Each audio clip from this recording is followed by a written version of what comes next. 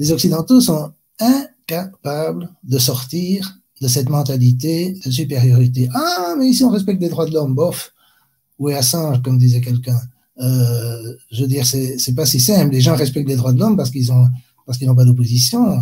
Il n'y a pas de réelle opposition. Il n'y a pas de subversion étrangère. Il n'y a pas d'influence russe. Il n'y a pas tout ça, c'est des fantasmes.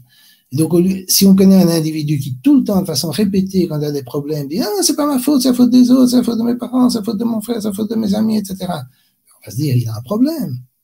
Mais le discours aux États-Unis, que ce soit chez les démocrates ou les républicains, c'est le même.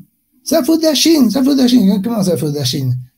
La Chine a eu un malheur, ils ont averti très vite, relativement vite, du problème et on n'a rien fait. Et rien n'excuse le fait qu'on n'a rien fait, quels que soient les reproches qu'on peut faire à la Chine. C'est souvent utilisé par les gouvernements. Avoir un ennemi extérieur permet euh, d'unifier un petit peu euh, la population. Bien sûr, mais quand on écoute le discours dominant, c'est toujours ça, c'était Hitler, ça c'était les, gouvernements autoritaires, etc. Mais ici, on a les gouvernements soi-disant, soi-disant les plus démocratiques qui font ça, avec la complaisance de la presse, etc. Parce que New York Times, Washington Post, ça, sont complètement dans l'hystérie anti-chinoise. Et pour moi, c'est un, un, problème interne à une société quand on est incapable de se poser des questions sur soi-même.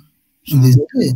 Il y, a, il, y a, il y a, un problème euh, fondamental de, de, de, de, déclin. Moi, je parle vraiment de déclin de l'Occident. Je sais que c'est un terme qui vient d'un livre de Spengler qui n'est pas très populaire parce qu'il était un peu, euh, d'extrême droite. Mais la question se pose tout à fait et des cas qui est lié à l'ubris, à l'auto-aveuglement, euh, à l'incapacité de se mettre en question.